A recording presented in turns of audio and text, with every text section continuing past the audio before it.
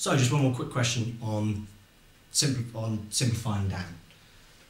Slightly more complicated this one. We've got 4xy minus 2y squared plus 2x plus 3y squared minus 2x y. Nearly running out of board there. Okay, so we need to simplify. So we collect the like terms together, or we just get rid of the like terms as we go along. So 4xy, where are the like terms? 2y squared, is that a like term? No, certainly is not. Plus 2x, is that a like term? Well, it shares the 2x, this has got 4xy, but they're not like terms. This is 4xy. It's only something with an x and y only that we can use.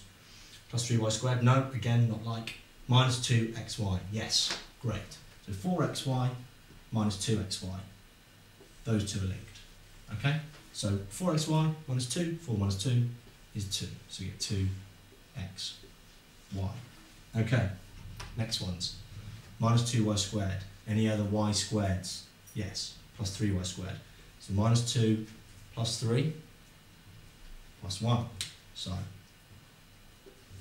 that's linked with that. Minus 2 plus 3 plus y squared. What about the 2x? Anything else in there? No. So that just stays the same. And that's it. Just wanted to give you this quick example just to demonstrate that this is not got anything to do with this.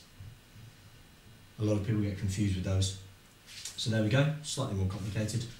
Have a go at the examples and enjoy yourselves.